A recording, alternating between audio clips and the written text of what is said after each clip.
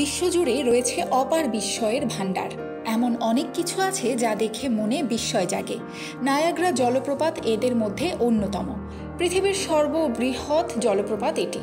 বাংলাদেশ থেকে প্রায় বিশ হাজার কিলোমিটার দূরে অবস্থিত নায়াগ্রা জলপ্রপাত প্রকৃতির এক মহাবিস্ময়। এই জলপ্রপাতের নাম শোনেনি এমন মানুষ খুঁজে পাওয়া মুশকিল। ভ্রমণ পিপাসু সকল প্রকৃতিপ্রেমী পর্যটকদের কাছে নায়াগ্রা জলপ্রপাতটি একটি রোমাঞ্চকর স্থান। স্ট্যাচু অফ লিবার্টি যেমন আজ মার্কিন যুক্তরাষ্ট্রের পরিচিতির চিহ্ন, ঠিক তেমনি আঠারোশো ছিয়াশি সালের আগে নায়াগ্রাই ছিল এখানকার প্রধান আকর্ষণ।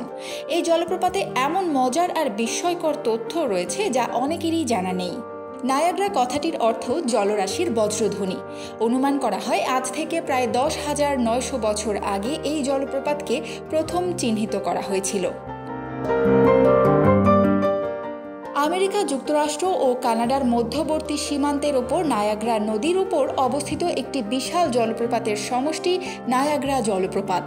উত্তর আমেরিকার সবচেয়ে শক্তিশালী জলপ্রপাত নায়াগ্রা আসলে তিনটি জলপ্রপাতের সম্ভার। সেগুলো হলো দ্য হর্স শু ফলস বা অশ্বক্ষুরাকৃতি জলপ্রপাত, আমেরিকান জলপ্রপাত এবং ব্রাইডাল ভেইল জলপ্রপাত।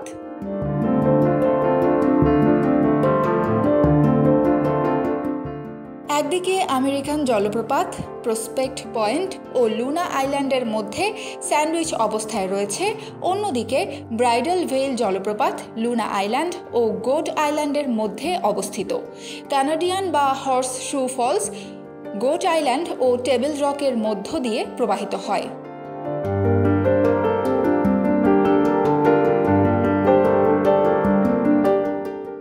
এক হিসাবে জানা যায়, প্রতি সেকেন্ডে নায়াগ্রা জলপ্রপাত দিয়ে তিন হাজার একশো ষাট টন পানি প্রবাহিত হয়, যার গড় পরিমাণ হল চল্লিশ লাখ ঘনফুট।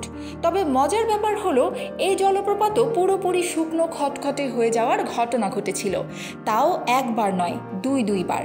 চলুন জেনে নেই সেই গল্প।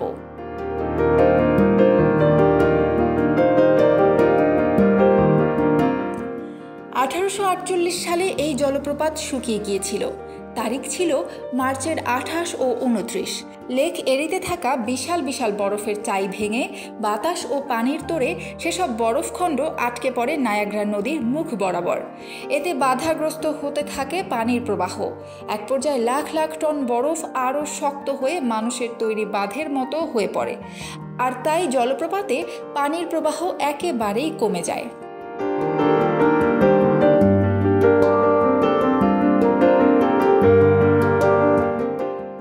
সেবার নায়াগ্রা তিরিশ ঘণ্টার বেশি সময় শুকনো থাকতে পারেনি। কারণ বাতাস উল্টো দিকে বইতে শুরু করার পর বাতাসের তোরেই ভেঙে গিয়েছিল বরফের চাই।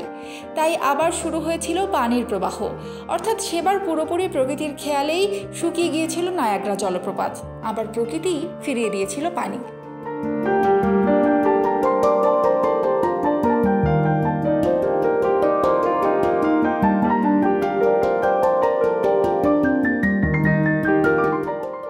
বহু মানুষ জলপ্রপাতে বিভিন্ন বিপজ্জনক স্ট্যান্ড বা কলাবাজির প্রচেষ্টা করেন। কয়েকজন মৃত্যুকে এড়িয়ে গেলেও দুর্ঘটনার কমতি নেই সেখানে।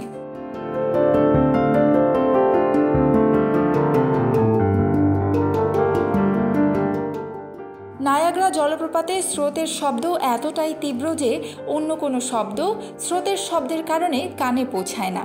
এখানে ঘুরতে গেলে মেড অফ দ্য মিস্ট নামের জাহাজ এক অবিস্মরণীয়, সুন্দর ও অবর্ণনীয় অভিজ্ঞতা প্রদানের জন্য আপনাকে জলপ্রপাতটির কেন্দ্রে নিয়ে যাবে। তখন উপভোগ করতে পারবেন জলপ্রপাতের প্রচণ্ড গর্জন। জলপ্রপাতটি গ্রীষ্ম ও বসন্তের সময় এক অসাধারণ দৃশ্য নিবেদন করে। শীতকালে এখানে আয়োজিত আলোকের অন্টারিও পাওয়ার জেনারেশন ফেস্টিভ্যাল এক উল্লেখযোগ্য বৈশিষ্ট্য। প্রতি বছর এই প্রাঙ্গণে রাত্রিবেলায় আতসবাজি পোড়ানোর পরম্পরা আয়োজন হয়।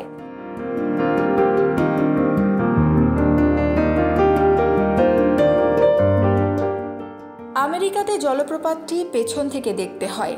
কানাডাতে সরাসরি সামনে থেকে দেখা যায় বলে সম্পূর্ণ জলপ্রপাত ভালো মতো দেখা যায়। রংধনু দেখতে আকাশের দিকে তাকাতে হয় না এখানে।